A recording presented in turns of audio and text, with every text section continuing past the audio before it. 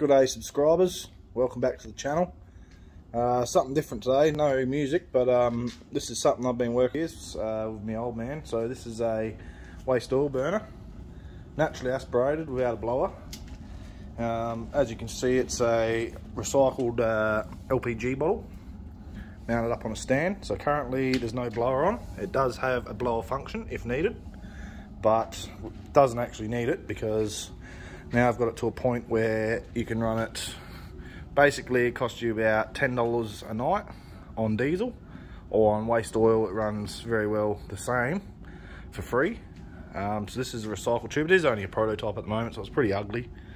But as you can see, she pumps out the heat. Got a uh, gravity feed nozzle going into the side. Now, I'm not going to disclose too much information about it because it's very hard to get these to run well on uh, waste oil without much emissions. So there is a bit of smoke, but nothing too extreme, nothing to uh, annoy the neighbours. And uh, yeah, so basic design. Took a bit of uh, work. This is the second winter prototyping it. Um, designed alongside my old man, so we've uh, he's got his own version that we've both put a bit of R&D into and worked out a good uh, good little setup. So it's got a burn tube that recycles the hot gas back in and that's what really helps the natural aspiration so yeah that's about the size of it. But as you can see she bloody throws out the heat.